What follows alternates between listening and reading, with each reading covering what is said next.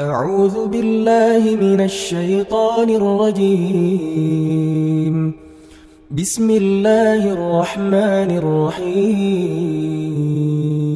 الحمد لله الذي أنزل السكينة في قلوب المؤمنين ليزدادوا إيمانا مع إيمانهم. ولله جنود السماوات والأرض وكان الله عليما حكيما. أشهد أن لا إله إلا الله وحده لا شريك له وأشهد أن محمدا عبده ورسوله الذي لا نبي بعده.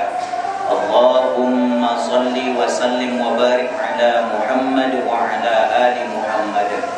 ويا عباد الله أوصي نفسي بتقوى الله وطاعته لعلكم تفلحون. قال الله تعالى في القرآن الكريم يا أيها الذين آمنوا اتقوا الله حق تقاته ولا تموتن إلا وأنتم مسلمون. وقال تعالى في آية أخرى فمن يعمل مثقال ذرة خيرا يره ومن يعمل مثقال ذرة شرا يره. Jamaah sholat Jumat yang insya Allah kita semua dirahmati Allah Subhanahu wa Ta'ala. Di dalam sebuah hadis Rasulullah Sallallahu Alaihi Wasallam bersabda, "Min husni Islamil mar'i tarhuhu ma la ya'nihi." Yang artinya kalau kita terjemahkan ke dalam bahasa kita lebih kurang sebagai berikut maknanya. Salah satu di antara baiknya Islam seseorang itu ialah ia mampu meninggalkan apa-apa yang tidak bermanfaat akan dia.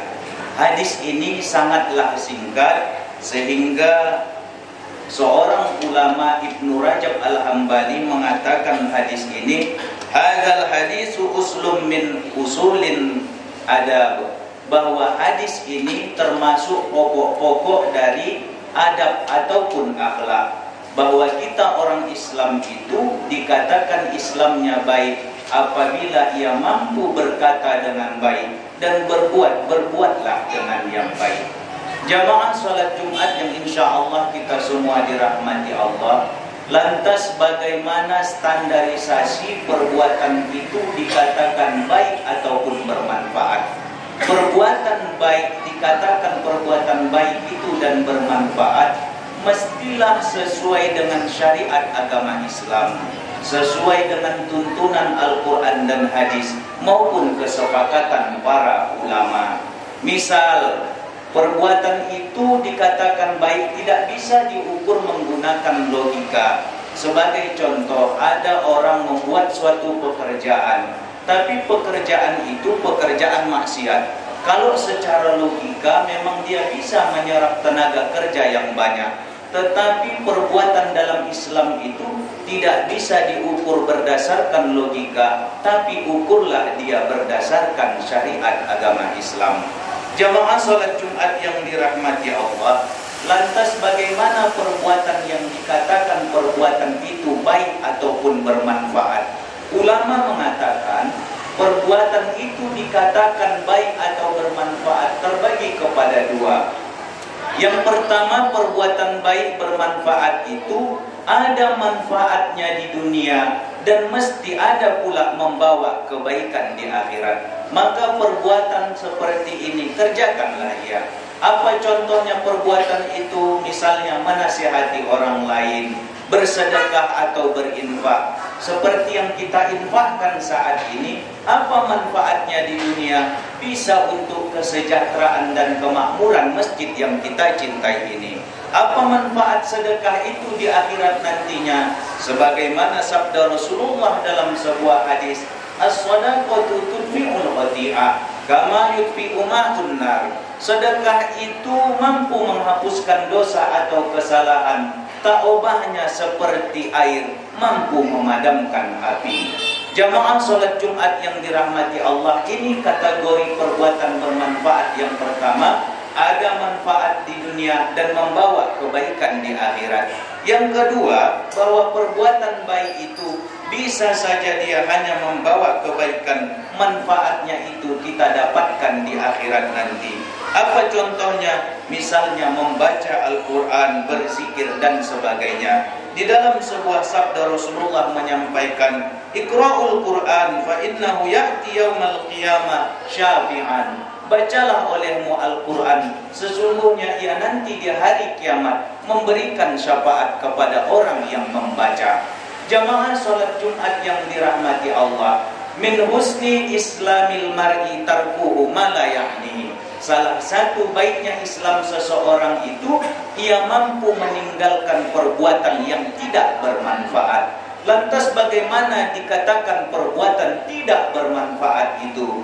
Ulama mengatakan perbuatan tidak bermanfaat itu setidaknya dibagi ke dalam dua bentuk. Yang pertama ada al-muharramah. Yang pertama itu perbuatan yang diharamkan. Kalau sudah perbuatan itu diharamkan oleh Allah, maka jauhi perbuatan tersebut. Walaupun ada orang mengatakan seolah-olah ada manfaatnya, yakinlah bahwa suatu perbuatan ketika sudah diharamkan oleh Allah, pasti tidak ada manfaatnya sama sekali. Saat ini kita melihat lagi marak-maraknya judi.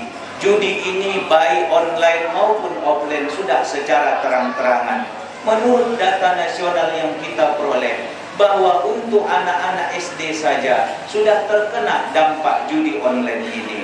Mereka judi online-nya dikemas dalam bentuk game yang mana anak-anak tersebut harus melakukan pembayaran terlebih dahulu baru bisa melaksanakan game tersebut. Karena inilah bakal cikal bakalnya terjadi perjudian online. Jemaah sholat Jumat yang dirahmati Allah, wabah judi online ini bukan hanya di kota-kota besar. Saat ini sudah merambah ke daerah atau desa-desa terpencil sekalipun. Judi ini kalau dituliskan ke dalam bahasa Indonesia terdiri dari empat huruf. Huruf J, U, dan I, D, dan I. Apa maknanya kalau sudah marak perjudian ini? J yang pertama, ketika marak perjudian, pasti marak pula tindak kejahatan tak pernah lagi kita temukan rasa aman. Kenapa? Karena tindak kejahatan lebih tinggi dari perbuatan yang lainnya. Apa makna U yang kedua? Bahwa ketika judi ini sudah merajalela, maka utang akan banyak. Kenapa? Orang terbuai akan kemenangan. D. Apa makna judi berikutnya? Timbul rasa depresi, stres yang cukup tinggi. Kenapa? Karena diakibatkan judi. I yang terakhir apa makna judi? Orang yang biasanya dicap sebagai penjudi pastilah ada dampak isolasi, menyendiri, penyesalan akan dalam hidupnya. Jamaah sholat Jumat yang dirahmati Allah, maka perbuatan contoh perbuatan yang diharamkan ini lebih baiklah kita tinggalkan karena firman Allah di dalam Al-Qur'an bahwa perbuatan tersebut rijsum min amali syaitan fajtanibuhu la'allakum tuflihun. Bahwa perbuatan yang diharamkan itu merupakan perbuatan jalan setan. Fajtanibuhu maka jauhilah. La'allakum tuflihun. Mudah-mudahan bila mampu menjauhinya maka kita menjadi orang-orang yang beruntung. Inilah perbuatan yang pertama yang mesti kita hindarkan yaitu perbuatan yang diharamkan. Apa yang kedua, Islam itu dikatakan bermanfaat apabila ia mampu menjauhi yang pertama perbuatan yang diharamkan, yang kedua perbuatan yang dimakruhkan. Perbuatan yang dimakruhkan ini adalah merupakan perbuatan yang sia-sia. Maka kita Islam itu baik, maka tinggalkanlah perbuatan yang sia-sia ini. Apa contohnya? Sebagai contoh sederhana saja ketika khatib sedang berkhutbah ketika sholat Jumat masih ada jamaah yang masih menggunakan handphone. Masih pula ada jamaah yang berbicara tidak mendengarkan khutbah atau nasihat sama sekali. Bahwa di dalam Islam lelaki itu kenapa diwajibkan untuk sholat Jumat sementara wanita itu tidak diwajibkan agar nantinya ketika laki-laki ini pulang ke rumah ia mampu menyampaikan dakwah ia mampu menyampaikan nasihat untuk keluarganya. Jemaah sholat Jumat yang insya Allah kita semua dirahmati Allah Tanda baiknya Islam kita itu mampu meninggalkan perbuatan-perbuatan yang diharamkan oleh Allah dan perbuatan yang dimakruhkan oleh Allah. Inilah khutbah singkat yang dapat Khatib sampaikan. Mudah-mudahan dapat memberikan manfaat untuk diri pribadi maupun kita semua. Barakallahu li wa lakum fil Qur'anil azim ونفعني وإياكم بما فيه من الآية وذكر الحكيم. وتقبل الله مني ومنكم تلاوته. إنه هو الغفور الرحيم.